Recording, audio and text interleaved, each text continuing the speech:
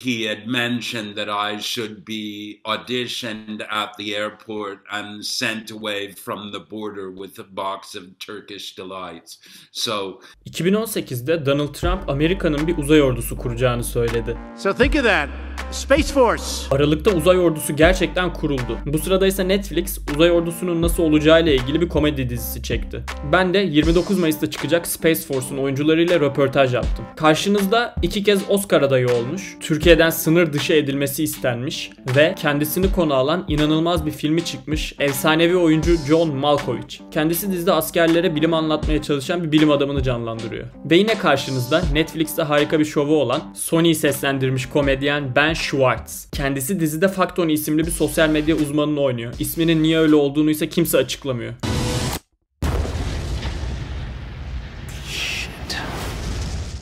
Uh, how are you? very well, you. Doing well, thanks, man. I just did the lunar landing module. the Hey, that's landing module. amazing. Yeah. Very That's nice. great. You, do you believe that aliens exist? And if they were real and humanity wanted to show them one of your projects, what would you choose? I cannot wait to hear if John Malkovich thinks aliens is because I've never asked it. I, I've never asked him, and I'm sincerely interested, John, because whatever he answers is probably correct. No, no. I I honestly have no idea. Once when I was having a knee surgery in Poland, I got quite addicted to Russia Today. There's a hilarious program on that called Sophie and Co. It's Sophie Shevardnadze, who's whose I think grandfather used to be prime minister of, of uh, Georgia, I think. Anyway, she had on a former Canadian defense minister who says he gets letters from aliens. oh, And they're really upset about the way we treat the earth. That's what he maintains. Do I believe it? Not really. But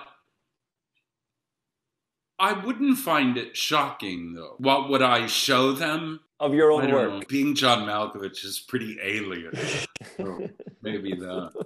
Malkovich. Malkovich, Malkovich. Malkovich, Malkovich. Malkovich, Malkovich. Malkovich. I think uh, there's a chance. There's a shot. I haven't seen any aliens. There's a shot. I, it's almost like magic. I love going to like a magician or seeing a magic show, and I I'm always looking to see what they're doing. But my favorite thing in the universe is when I cannot figure it out. Like I want I want to so badly not be able to figure out when I go to a magician. So it's like aliens are like that for me. Like I want I don't know yet.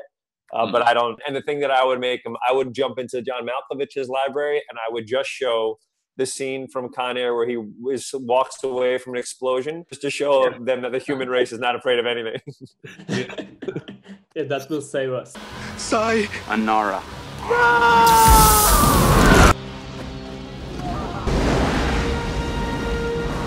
Yeah. yeah, John Malkovich will save us all is the name of my next Yeah. book. Yeah, my next question is about the show being a political satire, but not picking a side. What do you think about this stand? And also, can you see people comparing Dr. Mallory to Dr. Anthony Fauci? Bilmeyenler için Anthony Fauci Amerika'daki en üst seviye sağlık uzmanı ve virüs önlemleri konusunda sürekli Trump'la tartıştığı söyleniyor. Ve halk onu çok seviyor. John Malkovich'in karakteri de buna biraz benziyor. I think, in terms of it being a political satire, I don't think the uh, main purpose of the show itself is to try to take the figures in the Space Force, take the figures that are in politics, and truly, in a one on one fashion, try to jump into them. I think they're inspired by the idea of what Space Force represents. Our goal was to make a very funny show based off the idea that a new branch of the military has just existed. Funny based off of an idea that when it was announced, everybody's like, a Space Force?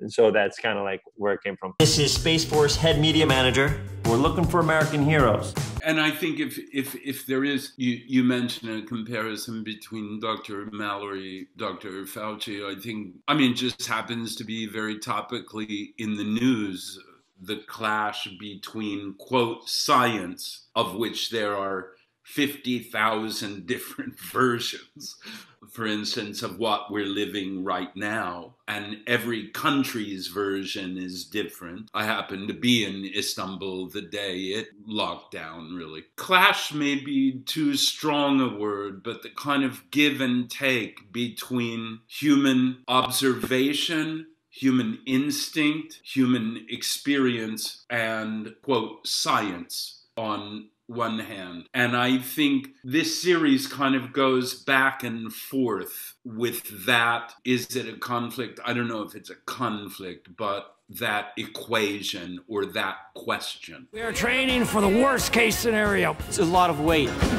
and it's hot.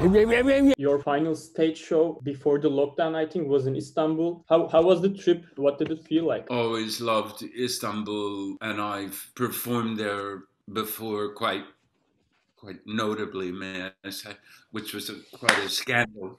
Um, and uh, we had dinner with the Minister of Culture the night before our show, and he told us they were going to let the show go ahead, the concert go ahead, but that they were also telling people to stay at home and don't gather in a large group. I think they were kind of too polite to cancel us as far as I know, I haven't heard of any sort of spread from that. That was on March 13th. We had a small audience compared to what we had had in Vienna or, or Serbia or, or Hungary. But it was a great crowd, and we had the Turkish critic there who was kind of immortalized in our piece, who came on stage and gave me a huge box of Turkish delight.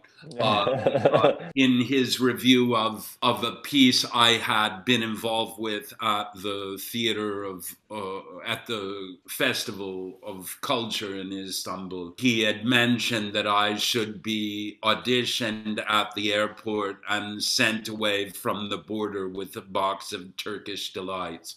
So he brought a nice box of Turkish delights, and uh, we had a great time. Small small crowd for Istanbul, but uh, it was uh, fun, but uh, a strange, a strange time as the world was kind of shutting down. Every town closed the morning we left. Thank you very much. Also, that was not all of our opinions, the critics. Thank you. Take care. Also, then your improv special is great. hey, thanks, that. man. That means so much. I, I, haven't been able to talk to people in other countries yet to see if it translates. So that makes me so happy yeah, that it you does, guys dig yeah, it. It does. Great. Congratulations on the show. Thank you. Thanks, Thank sir. You, sir. Have Thanks for the module.